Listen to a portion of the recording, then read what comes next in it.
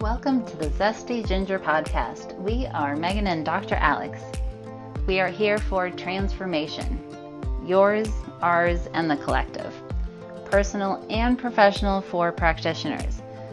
But not just any transformation, compassionate transformation. Because between the two of us, we have seemed to have done things the painful way. Let our pitfalls become your stepping stones.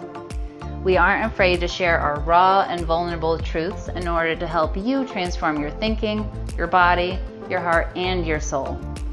Combining 15 years of functional medicine with brain based habit change to lead you to the best life possible in a compassionate way. Compassion, yes, yet plan to roll up your sleeves. Transformation requires your participation. And a quick reminder this information is not meant to diagnose, manage, or treat disease. Always consult with your doctor, not this doctor, before making changes.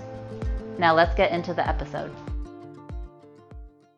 Hey, everybody, welcome. Welcome to the Zesty podcast. So happy to have you here. So happy to have you back. If you are a new listener, welcome. If you've been around for a long time, thanks for coming. And I, this is Megan here today, and I have a special guest with me, Krista. Welcome to the podcast. Thank you so much. I'm so happy to be here. And Krista and I today are going to talk about transformation. We're going to talk about what it takes to make transformation happen in your life, what it takes to get you there, and how we end up in a place where we know that we're ready for more. So, I said to Krista, I said, I would love to talk about your journey because it's been so, so fun to watch her from when we first met and all the way to now, and even just back to January. So, in January, we held a two day compassionate habit event in Virginia Beach. Lots of you were there. So, thank you for coming. And this was such uh, it was our first time doing this live two day event absolutely enjoy love love love our live events and it was so so cool and we've decided we're going to do it again. We're going to do it in August in Dallas. Another two days are going to be two full days this time. And so I wanted to discuss with Krista, because she's someone who came into that event one person and then not that many months later, a very different person. I wanted to just find out what was going on, why, why she came to this, and just how she has been able to implement and transform so quickly. Because I know that that's what a lot of our listeners want. They want to transform fast. And it's great to hear stories from me and from Dr. Alex. And I almost get the most out of hearing the stories shared by other people, people who are really like me. So, Krista, let's walk me back to a little bit what was going on uh, that had you interested in first place of coming to the two day habit event in January? Yes. So I think that I um, learned about the in person event in probably six weeks before it happened. So that would be early December 2022. Um, and I discovered it through your podcast. Um, you hosted a 20 day, I think it was called the Series of Possibility um, podcast. It was fantastic. It really walked you through um, really assessing where you are in your life and where you might want to go. And that just aligned really nicely with where I was in December 2022. I knew I wanted um, 2023 to be a year of action. I was motivated for change. I was looking for something different. And I also realized that if I wanted change, I had to do something different because what I had been doing up to now wasn't going to get me to the next level.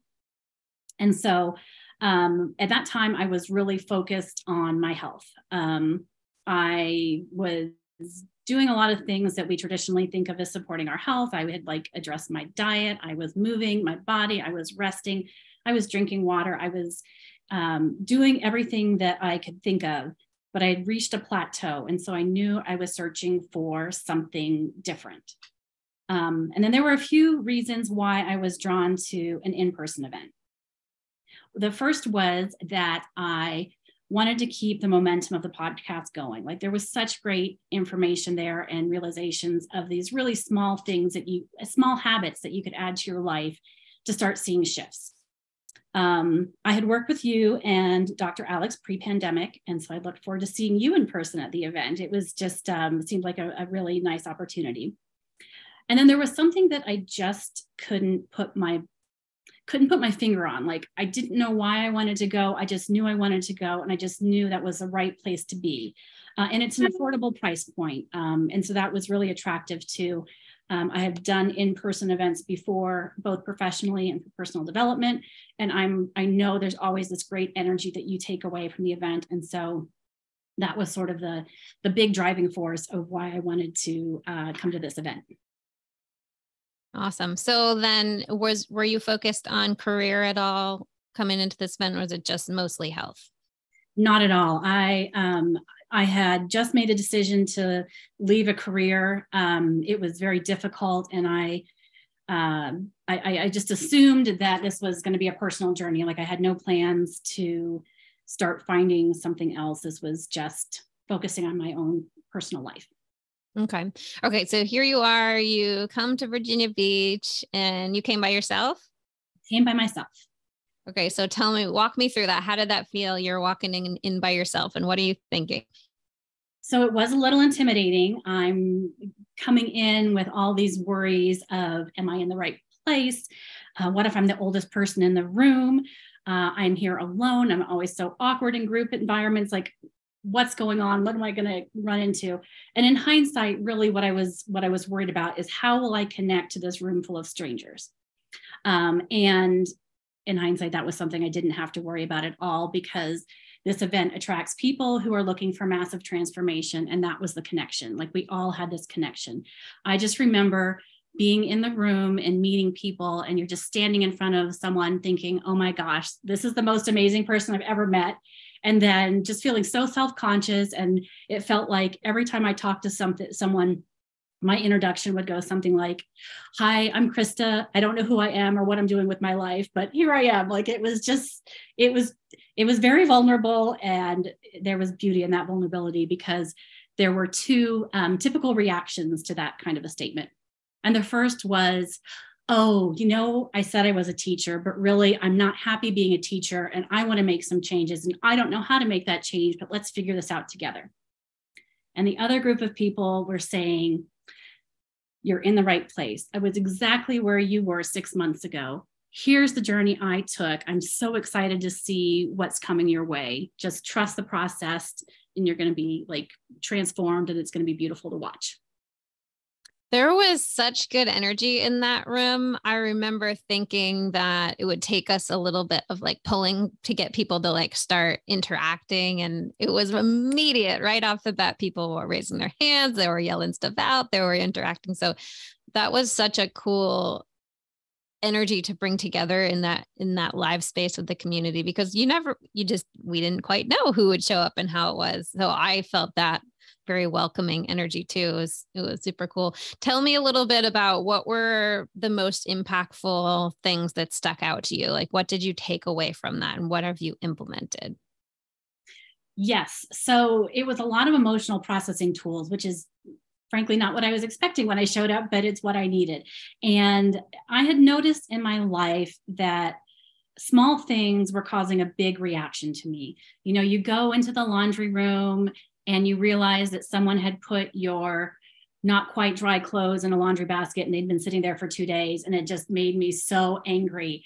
And i also knew that wasn't a normal response. Like life events were causing a much bigger response in my body than i thought um, was appropriate. And what i've discovered through um, working with you is that in december 2022 and really probably for the year or two before that I was in a point of overfunctioning. And that can sound like a really good word in American society, but it isn't at all. Um, it meant that I was doing things that I shouldn't be doing. I was not relying on the support I had around me. Um, I was trying to do everything instead of focusing on what I was really good at. I was in survival mode. And in order to keep that pace going, I was really stuffing a lot of my emotions down. And so there were a few tools that I took away from the event that have really shifted how I feel in my body. And the first is when you would talk about cause and effect. And without going into the details, it's essentially um, me taking responsibility for the choices I make in my life and realizing that um, the way things are is not the way they have to keep going. And the other one was when we talked about negative self talk. And negative self talk, I think I didn't realize I was doing it because it's not like I was telling myself bad things. But I noticed that uh, in the morning, before I got out of bed, that you know that time when you're just in bed and you're feeling good and you don't really want to get up and start the day, um, I would have these movies running through my head, and these were movies that really emphasized me as the main character in isolation, feeling very lonely and feeling um, just very despondent. And it didn't matter that I had a house full of people around me. This is what my body was telling me. And I just felt like there was nothing I could do to stop it. Um, you know, through the training that you provided that weekend, I realized that my brain was addicted to the feeling I got when that movie was playing. And also, there were healthier ways to feel and process those emotions. And so incredibly since that event i haven't I, think i've had maybe one or two times when that movie starts playing but when that happens dr alex's voice comes in my head and it shuts it down. So that was a huge takeaway. Oh my gosh. So what do you that's amazing that that movie is turned off. So do you remember anything specific? Was there something that you were really in like an area of life you were really in effect about or did that stand out in any specific area that you were focusing on? Like it's all it's everybody else's fault but mine? Well and it wasn't all the time but i think it was my whole life. Like i think it was i had just been going going going for so long that i wasn't slowing down and really being present in my body and present for the people around me. So it wasn't necessarily there was one um, area of my life. I mean, it was probably some of my my career, um, but I had been on a sabbatical for a year, so it couldn't have been all of that. Um, I think it was just really it was time for a reboot of my entire system, and um, that was one of the ways that we started that. So, Krista, if somebody else is like, "Oh gosh, I wake up with that movie and the self-talk running in my head," is there anything obvious that you say to yourself or do that they could benefit from hearing? Yes i mean i i think of that i don't remember what movie it is anymore when the man's like i'm the captain now and that's what i feel like like i'm in charge of my body i'm in charge of my thoughts like i don't have to listen to this i can just like shut it down and and process my feelings in a different way Ooh, I love that. I'm the captain now. I'm driving this bus. Yeah. So that's what we love about these tools. And everybody uses them a little bit different, which is why we love to have people share, right? Like what really stuck out for them. Because I know for me being super kinesthetic, I realized how much I jump into the movie. Like you said, like if I think of something bad, it, I'm in it, like I'm in the movie and I'm having all the feelings. So having the tools to realize that that's what you do and that you're living out this, this movie. And like you said, addicted to that feeling. What do you think it was? Protecting you from or doing for you to keep having that feeling in that movie play? Well, it was keeping me in a life that my body and my mind knew. Um, it was it was keeping me it was keeping me safe because I was continuing down the path that I knew and that I knew how to function in, that my family knew how to function in. Um, it was just keeping the status quo. Okay. So it was safe, safe to stay. Yes. Okay. So I know that coming to these events that the community and meeting other people i know for me that's why i go to events. I just recently sent out a newsletter talking about the idea of collisions. There's a book called culture code. Have you ever heard of that krista?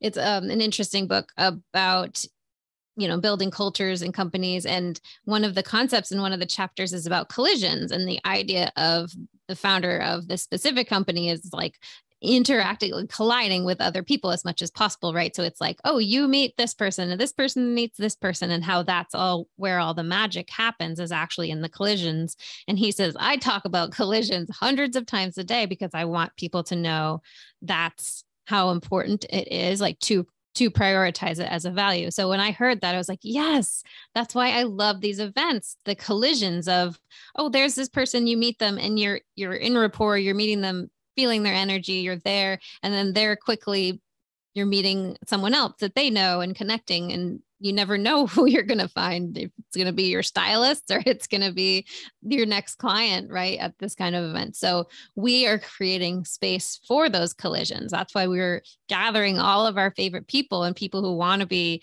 um, leaders practitioners coaches into a space. So tell me a little bit about how coming into that community has been for you yes you explained it perfectly it was like a collision of all these people I didn't know I needed in my life were suddenly there. And it's amazing to me that in a 48 hour event, um, that there are at least five women that I met at the event that I talked to, if not daily, several times a week. Like it's just, it's just wow that uh, that, that happened. Um, and there were a couple other bonuses I think that come from attending an in-person event. Um, one was that it allowed me to get away from not from the people in my life, but from your normal weekend retreat r- routine. You're not uh, you're not worrying about grocery shopping. You're not worrying about what you have to get done before the week. You are just focused on where you currently are and where you want to go. And that was such a gift that um, I didn't really appreciate was coming. And there was one other thing that I took away from the event that I also want to really highlight, and that was that the techniques and tools that you taught and that I learned and I took away from were um, things that I shared with my kids. I have two kids in high school and a daughter in college, and they are obviously handling a lot of stress as we enter finals week. And so to be able to walk them through some tools on how to manage stress and calm their body and really um, show up as their strongest, best selves for uh, these challenges that they have is powerful. And it's really exciting to know that they are getting those tools, you know, 30 years ahead of, of where I was.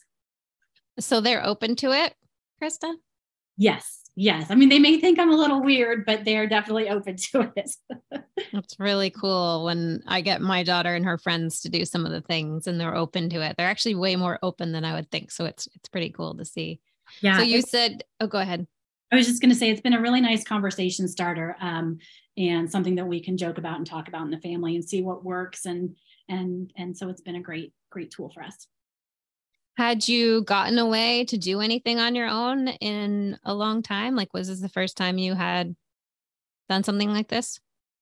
no that was part of the resistance i had in coming um, i think that i haven't talked about this with my husband but i think that maybe he was sensing that i was a little unsettled on where i was and so he had said you know why don't you now that covid's over why don't you think about doing a girls trip and mention some friends and what neither of us expected is that I would have three of those trips within like this four month period. And this event was falling in the middle. So um, you know, you say there's always resistance in getting there. And certainly I had to overcome a lot of guilt and um, financial concerns like getting there, but uh, but it was fine. It was it was great. And um, this but this was different, right? When you're with your girlfriends, you aren't really focusing on revamping your life. It was uh, this was the first time that I had just focused on um, what I wanted for this next chapter in my life. Gone to something just for you Yes. Yeah. Cool. Very cool. Okay. So I know you had uh, part of the event was the a goal setting experience that we offer. And I know that you said you had a big takeaway from that. Can you share a little bit about how that went for you? Yes. And what I wanted to really share was that in my experience, the tools and the subconscious reprogramming that we talk about works even when you're very skeptical. Um, you know, I come from a hard science background. I was an attorney for 25 years. Like I, my brain is like flex position. Let me pick this apart. And maybe you're, you know, maybe you're an engineer, maybe you're uh, a teacher, maybe you're in healthcare, and you can relate to um, having that really analytical mind. And so um, the goal setting exercise was really difficult for me, and that was something that I had trouble coming up with what my goal would be. Um, and I think it was because, frankly, I was getting tired of my health always being my goal. Like it felt so boring. I didn't like that as part of my identity as, as someone who's, you know, constantly trying new things without success. Um, and so I was feeling a lot of resistance. But but you and Dr. Alex were like, just write something down. Like tell the whole room, just write something down. And then once you said to write something down, you said something to the effect of now that you have your goal down, I want you to dream even bigger and even bolder because these massive transformations are coming and you're not going to believe it and you just need to be prepared. So write something down, don't overthink it. Whatever comes to your mind, just write it down. It's like, all right, I'm not going to overthink it. And what I wrote down was, Am I a speaker? Should I be using my voice more? And that's all I wrote. And I closed my notebook and I didn't think about that again until um, I was preparing for our call and I realized, oh my gosh, I'm using my voice. I'm being a speaker. And like, I know this is just the first step in like a whole lineage of thing that's coming, but it was just, that was a really cool um, realization that I came to. Oh my gosh, I didn't know that. That's so cool, Krista. Okay, so this gets even better because not only are you now a coach and a speaker on this podcast, you also were quite the speaker at our seven day certification event. So fast forward to uh, a few months later in April, we had our, we host a seven day certification training, which y'all have probably heard about. And Krista came and joined us for that. And it was so cool because, you know, the beginning of that training, people are often really deep into their stuff, right? Like all this, all, all their unconscious mind resistance is coming out and they're trying to push against the process. It's just a totally natural part of it. And this cool thing happens day four or five where people like lock in all the things that they've shifted and they just step into this new identity. And you can, we actually have people take pictures before the event and, and after because their physical face were changed. It's so cool. And so Krista comes in that morning, right? Day, I think we said day four or five. And she's like, I have something to share. And just like powerfully stood up, commanded the whole room. We were all just, we were all like laughing. We were all just enjoying this share so, so much. And you, I mean, you are an amazing, I said at the end of it, I was like, that was such an amazing story and you're such an amazing speaker so that's even cooler now krista to hear that that was what you wrote it, what you wrote because these things that people write in the events i we always say that put something big because so many big things have come through that i was just like yep sure i'll throw a lake house on there and then magically you have it. So please tell me, you know, the shifts that you have seen since that January event and just take us on that journey, Krista.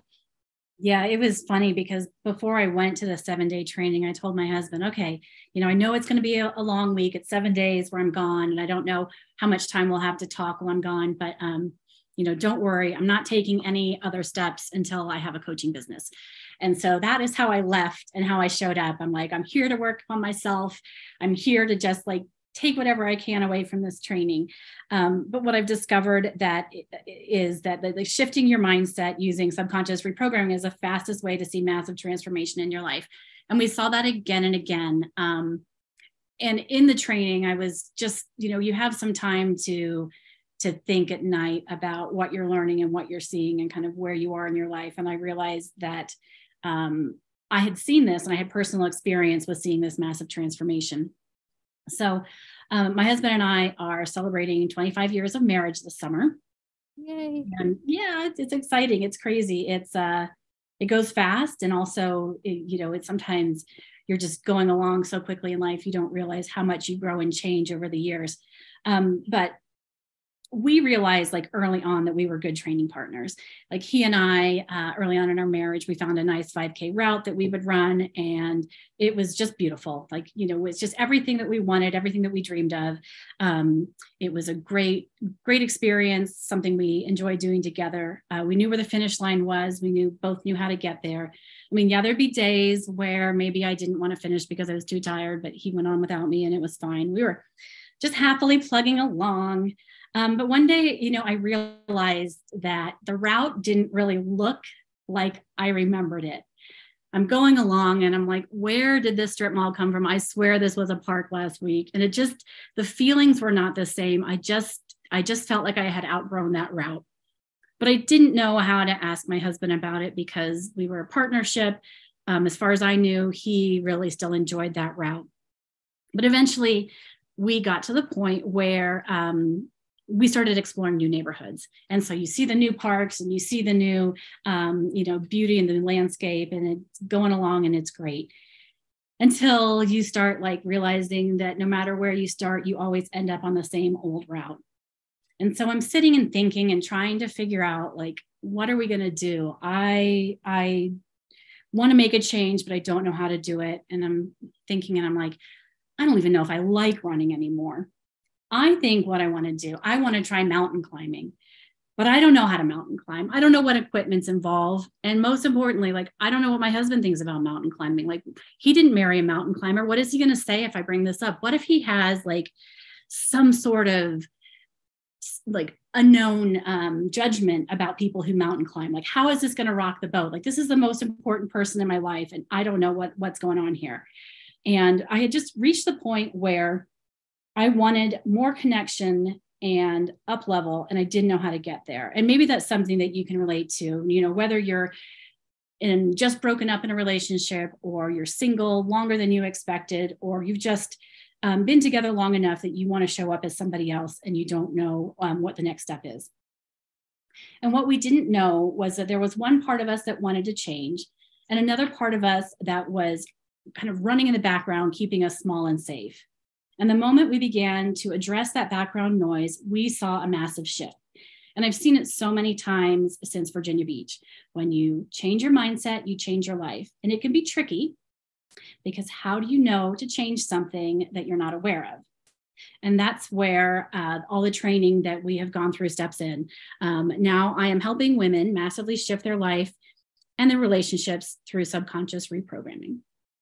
And if you're following the story, it turns out my husband not only likes mountain climbing, but skydiving too. Cheers to all the new mountain climbing and skydiving adventures for everyone. Oh my gosh, I love that, Krista. yes. So it was just really cool to see like everything that we were learning in the training and realizing, yes, it really does work. And I've seen it and I've experienced it, and I can help other people do that too. And by the end of that seven days, you are a coach and you already had a client. Yes, I did. I know it was it was so wild that the trip that that, that took me on. I, I remember calling my husband and being like, okay, I'm a coach now. He's like, what? So yeah, it was it was just this this it, it just felt so right. Like it felt it, when um, the client approached me, it was like, yes, this is what I'm meant to do. This feels like a great next step. And it was just um, really starting in Virginia Beach through the whole experience, I just felt more alive and connected um, than I had in a really long time. And I think that's important. So there's plenty of people who we help who don't ever want to be a coach, and that's totally cool. It's the tools themselves for anyone who wants to come join us in August for habit training these are tools like you said these are tools can be used with you with your teenager um, how you interact um, at the company you work at how do you in- interact with partners? And then what happens what we see happen is that the people who really take these tools fast and they run with them they implement them for themselves fast they're they're just they want to share them. And that's when they become a coach and a lot of us are just unofficial coaches all the time anyway right? We're we're coaching our kids we're coaching the people around us. So we dr alex and, all, and i are all about just getting all the resources all the resources we can so that who knows what's going to pop up right? We said 25 years in law and now you're like well we're we're going to do something different. We're going to it's going to be mountain climbing. Yep. Thank you so much, Krista. I love hearing your story. We super appreciate you sharing. And I know there's been, I'm positive there's some big takeaways here because I know that when everyone listens, they can step in and see like where in their life where they're set, like this is the path we were on. And what if someone, the person I'm with, doesn't want to be on a different path, right? We start to get it into our fear and realizing if we actually just speak the path uh, and speak about our experience, then there's a good chance we can come up with something even more exciting. Absolutely. And all the people that I met at the Virginia event were on a different journey and a different path, and we still found connection and support in sharing each other's stories. Um, yeah, we all have our own our own goals and identities that we want to step into. Awesome. Okay, so everyone listening, I don't know what date this will air, but if it is after or your early bird ends June 15th, so come on down and get your tickets. First 50 people are going to get a lunch voucher, and we cannot wait to hang out with you for two days. So thanks for being here, Krista. Thank you. Hi, I just wanted to take a moment here to share my experience about an in person event at Virginia Beach with Zesty Ginger this past January. It was an amazing overall experience with sound healing, connecting with women from all walks of life, and the goodie bag that was actually packed with really good stuff. Um, I had many aha moments but one of my biggest was how it was possible to work with your subconscious mind and remove the obstacles and blocks that's holding you back to really move forward and step into possibility, what's possible for you. And I was amazed at how the goals were just flowing out while we are writing out goals. It was amazing. Weekend of connection, transformation, and so much more. Thank you, Zesty Ginger. Bye now. Thanks for coming out to hang with us on the podcast. It is our goal to transform the way women are treated in healthcare. And we need your help. We need your help to get the word out. We have a lofty goal of 1 million downloads. And we know that as this podcast grows, we're going to be able to reach more women, get more amazing speakers for you, and bring the most cutting edge information. If you found these podclasses helpful, please take a moment to text five women you know the link to the series. We appreciate your help so much. Can't wait to see you next time.